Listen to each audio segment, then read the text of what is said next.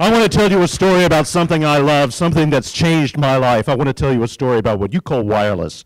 I call radio. It begins with a very sharp dressed Italian man, Guglielmo Marconi, who, with his arcs, with his sparks, made contact with folks on the Titanic who wouldn't have survived otherwise, made contact with Teddy Roosevelt across the Atlantic. A much less well dressed man followed from the United States, Lee DeForest, who tinkered, who committed patent fraud or accused people of patent fraud. At any rate, he invented a thing called the tube, the valve, the audion, the detector. And what Lee DeForest did with the detector was, of course, advertise it and sell it. It was America. It was the most sensitive. It was the most reliable. It was the detector. Your air is full of meaning. You must detect the meaning. That was Lee DeForest's mission. As this meaning filled air expanded, we got networks.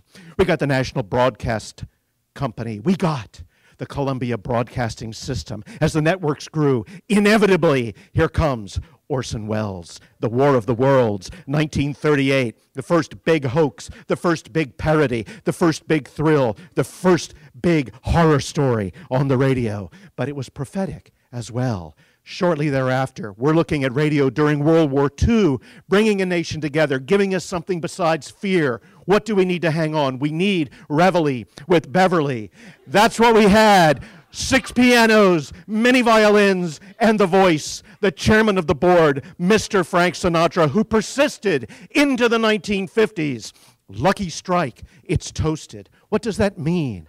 Do you smoke toasted cigarettes? I don't know, but you can hear it on the radio. Frank Sinatra, light up time, the chairman of the board. And in the 1950s, it changes again. It's Dewey Phillips at WHBQ in Memphis playing a little song by a guy named Elvis Presley. That's all right, Mama. The phones light up.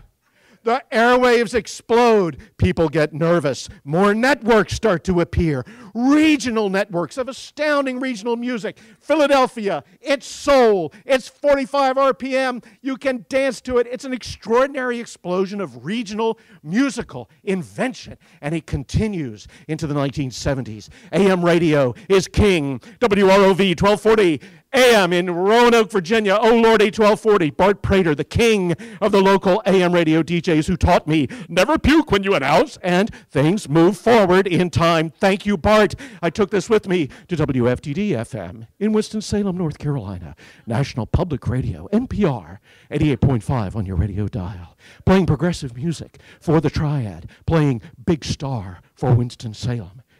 And then, and then, automation then corporate takeovers, not learning management systems, network management systems, radio management systems, walled gardens, automation, content, delivery, commodities, and then the revolution. It's iPods. iPods. Yes, the return of radio, radio redux, podcast, DIY, carry it in your pocket, put it on your arm, run with it. You can now be a radio station. You can have a radio station. You can have a podcatcher, a podcatcher. That's your tuner, that's your detector, that's your Audion patent fraud. Brilliance. It is a podcatcher. It looks like Windows 3.1, but don't look at that. Soon, we bring this into education. Yes, some nutcase publishes this and puts all these little secret things in there from the world of rock and roll. I urge you not to look this up. But if it's great, we can do it in education. Radio will transform education. We will make it.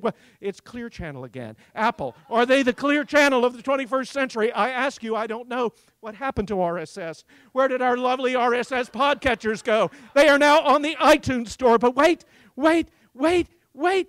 DS 106 Radio. Yes! You've heard of Radio Caroline. You've heard of Radio London. This is pirate radio for the 21st century. Make radio. Make pirate radio. Tune in right now. Well, no, not right now, but soon. And when you're looking at your handheld device, look what you got. You got Radiolab. You got With Good Reason. You got the Tobolowsky Files. You got What the Fuck with Marc Maron. You have got all the radio you can possibly consume right there on your mobile device, including the mother of all podcasts, Melvin Bragg, public intellectual, BBC. He interviewed Pete Townshend in the 70s, and now look at him Dark Matter, Beowulf, The Eunuch, The Wealth of Nations, and it's all right there. All right there on your podcatcher, in your pocket. The spirit of radio will not die. You call it wireless, I call it radio. It is a worldwide mind. Thank you.